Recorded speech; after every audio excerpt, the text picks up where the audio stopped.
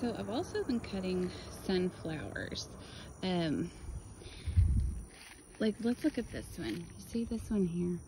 It still has green on it. So I know it's not ready. Um, but I had several, like these still have green. Um, so we're not gonna mess with those, but I've already cut several this morning, as you can see down here. Um, they have already turned the yellow. Um, some of them have brown spots like that one. Sorry, the traffic right here is terrible. Uh, and literally, I just went at the top of them and just cut. Like I just cut right under it right here. And then I'll take it and get ready to harvest the seeds. Okay, so I cut my sunflowers and um, I've let them dry a little bit because they had bugs all over them. So they're all just right here.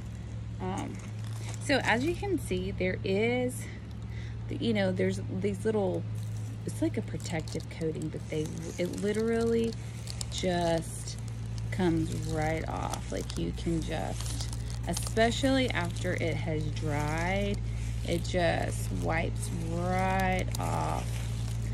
To be honest with you, it's kind of satisfying to wipe these off. I love it. Just comes right off.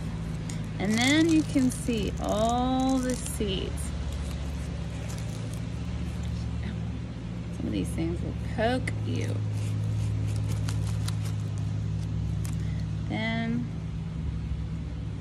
once you get all of that off, it's kind of like um, an accordion, you know? You just kind of give it a little turn like this and the seeds will begin to pop out.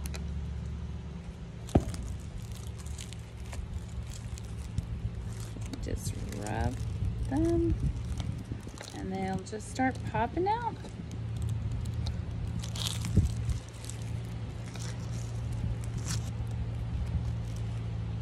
Look at all of that.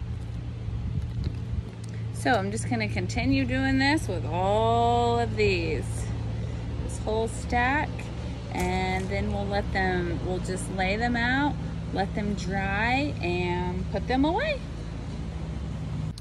This whole stack right here this whole big old stack is all from just one. Um, and I still have several cut that I need to do. So I'm going to be here a while, but this is just awesome. Like I am truly amazed at the sunflower and all of its purposes and just the way, I mean, God created this. It's like a sponge right here. Once you peel this layer off, this is like a, a sponge. It's so awesome. Um, anyway, so yes, lots and lots. Now, just a tip, you may or may not know this. Um, for you, when you plant cucumbers, if you want your cucumbers to have a, um, you know, more flavor, maybe a sweeter flavor, um, plant sunflowers um, next to your cucumbers and they will be uh, even more flavorful.